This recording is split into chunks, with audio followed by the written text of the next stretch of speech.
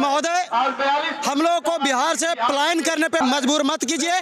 कम से कम आप युवा की सरकार हैं आप हम लोगों को पलायन होने से बचा लीजिए। 18 बारह 2021 को जब हम लोग पटना गर्दनी बाग में धरना प्रदर्शन कर रहे थे तो हमारे धरना प्रदर्शन में माननीय तेजस्वी प्रसाद यादव जी आकर के आश्वासन दिए थे जब हम बिहार सरकार में आएँगे तो सबसे पहले वार्ड सचिव संबंधित जो पत्र जारी हुआ है, बहत्तर उन्नीस पंचायती राज विभाग से, इसको निरस्त करवा करके आप लोग को अस्थायी अपने पद पर बार सचिव के पद पर अस्थायी करने का काम करेंगे।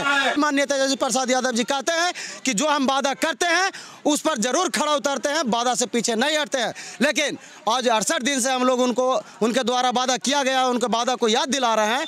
तो याद तो दिला रहे हैं, हमारा बात सुन भी रहे हैं, लेकिन मांग पूरा नहीं कर रहे हैं। जय भीम नवोदय मैं राजकुमार और आप देख रहे हैं द देखिए इस वक्त हम गर्दनी बाग धरना स्थल पे मौजूद हैं और हमारे पीछे जितने भी लोग बैठे हुए सब वार्ड सचिव संघ बिहार सब वार्ड सचिव हैं और बैठे हुए किस लिए बैठे हुए इनसे बात करेंगे। क्या नाम हुआ सर? मेरा नाम मोनू कुमार है वार्ड सचिव संघ से हम प्रदेश उपाध्यक्ष हैं। बहुत दिन से बैठे हुए आज हम वार्ड सचिव अड़सठ दिन से पटना के गर्दनी बाग में बैठे हुए हैं। हमारा मांग है कि जो पंचायती राज विभाग द्वारा तेरह बारह दो हज़ार को पत्र जारी हुआ था, जिसका पत्रांक संख्या बहत्तर उन्नीस है उसको निरस्त करते हुए हमें अपने पद पर बरकरार अस्थायी करने का काम किया जाए, क्योंकि ऐसा आश्वासन माननीय तेजस्वी प्रसाद यादव जी भी हम लोगों को दे चुके हैं। अठारह बारह दो को जब हम लोग पटना पटना गर्दनी बाग में धरना प्रदर्शन कर रहे थे तो हमारे धरना प्रदर्शन में माननीय तेजस्वी प्रसाद यादव जी आकर के आश्वासन दिए थे कि जब हम बिहार सर, जब हम बिहार सरकार में आएँगे तो सबसे पहले वार्ड सचिव संबंधित जो पत्र जारी हुआ है, बहत्तर उन्नीस पंचायती राज विभाग से इसको निरस्त करवा करके आप लोग को अस्थायी अपने पद पर वार्ड सचिव के पद पर अस्थायी करने का काम करेंगे। तो आज हम तेजस्वी प्रसाद यादव जी के जो तेजस्वी प्रसाद यादव जी द्वारा जो वादा किया हुआ है, उनको याद दिलाने के लिए आज अड़सठ दिन से पटना के गर्दनी बाग में यहाँ पर बैठे हुए हैं, धरना प्रदर्शन पर। इन अड़सठ दिन में माननीय तेजस्वी प्रसाद जी से तीन, चार बार मुलाकात भी हुआ, लेकिन अभी तक सिर्फ़ हम लोग को आश्वासन भी दिया जा रहा है। हम ज- हम लोग जब भी मुलाकात करने के लिए जा रहे हैं तो तेजस्वी प्रसाद यादव जी द्वारा कहा जा रहा है कि आप लोग का जो मांग है, उस पर कार्य चल रहा है। आपका जो पत्र निरस्त करना है, वो प्रोसेस में है। थोड़ा सा समय लग रहा है। आप लोग का मांग बहुत जल्द पूरा हो। लेकिन हम आपके चैनल के माध्यम से कहना चाहते हैं कि महोदय, हम लोगों को बिहार से पलायन करने पर मज़बूत मजबूर मत कीजिए। वैसे ही वर्षों से बिहार पलायन पे मजबूर होते आ रहा है। कम से कम आप युवा की सरकार हैं आप हम लोगों को पलायन होने से बचा लीजिए जो हम लोगों से आप आश्वासन दिए हैं अपने आश्वासन पे खड़ा उतरिए और हमें अपने जितना जल्द से जल्द हमें अपने घर को भेजने का काम कीजिए।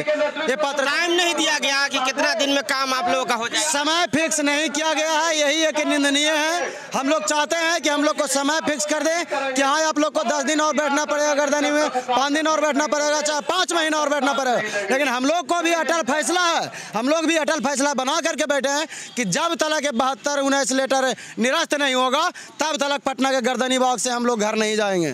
पलायन करने के बात कर रहे हैं आप मतलब आप सोच चुके हैं कि अगर नहीं मिलेगा तो हम बिहार छोड़ के भाग जाएँगे? देखिए अब तो भाई घर परिवार चलाने के लिए बीवी बच्चा को पालने के लिए माता पिता को पालने के लिए रोजी रोटी के लिए दो पैसा कमाना तो ज़रूरी है बिहार में तो कोई काम है नहीं। बिहार में कोई काम है तो आप बता दीजिए वहीं पे हम काम कर लेंगे बिहार में तो हमें ऐसा कोई काम नहीं दिखाई दे रहा जिससे कि हमारा।